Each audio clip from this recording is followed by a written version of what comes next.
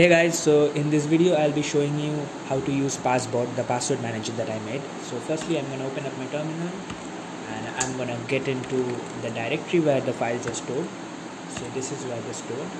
So I'll just run python 3 and password manager. So this will run my password manager right? So as you can see here it shows you that to know more you can type help and this is a simple password manager. And if you are new you should type new and if you are like you have already used this before then you should type old. So we don't know anything so let's just type help. So as it tells right now you're viewing the help section of password manager um, if you're using this for the first time then type new. If you have already used this then type old. And if you want to view some passwords that you have already saved then type old and choose option 2 and if you have already used this and want to save another password then type old and choose option 1 so we have not done anything so let's just go with new. So we are going to press new. So now it says that now we shall ask you for your credentials. When ready type ready. So are we ready? Yes we are. So let's type ready. And now it asks the website name of who's the details we want to save. Let's say i want to give instagram okay? So instagram it asks for email or username so I'll just give my username Ankit Josh78 and now it asks if you want to use a strong generated password type 1 or if you want to use your own password type 2 let's say I already have a password so I want to use my own password so I will just type 2 and it says that enter the password that you want to use. I'm obviously not gonna type my real password but let's just type a password test 1234 okay? Now it asks enter a master password to store all your credentials. Make sure you remember it. So this is going to be our gateway to all our passwords right? So we should remember this something to keep in mind. So i'll just give a simple password something such as hello 1234 and it says that your credentials have been saved and are encrypted and are stored. Okay?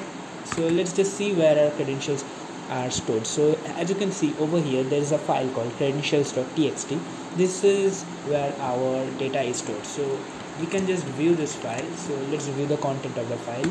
So if i hit enter as you can see there is some random string. So basically this file is encrypted so that you cannot understand what's the real string or the text behind it okay? So we need to decrypt it every time we want to see our password. So let's say I want to know my password right now. What was the password? So I can just write my code again.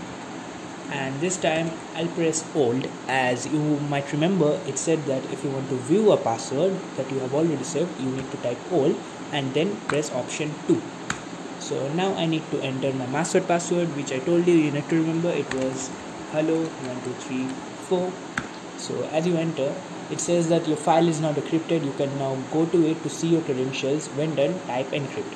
Okay? So let's just go to our file. So this is where our file was there. And as you can see credentials.txt the site is on instagram the user id is ankitjosh78 and the password is test1234 we'll just close this and we have seen it. So we can just encrypt this now.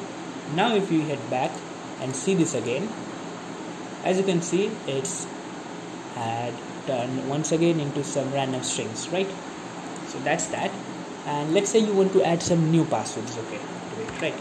So you want to add let's say a few more passwords. So for that we'll just give old once again and it asks to enter new password type 1 so we'll type 1 and then it asks for our master password right? So our master password was hello 1234 so we'll enter that and now it goes through the same process like new. So i'm just going to keep ready here. And then for the website disturb let's see i will give github. So github is the site the username well let's keep it the same only. So just 78 now this time let's say i want to use a strong generated password by the system. I don't want to use my own password. This can be very useful for some random sites for which you don't want to use your own password as you might have some trust issues so you want to use some generated password right? So I can just press 1 for a strong generated password.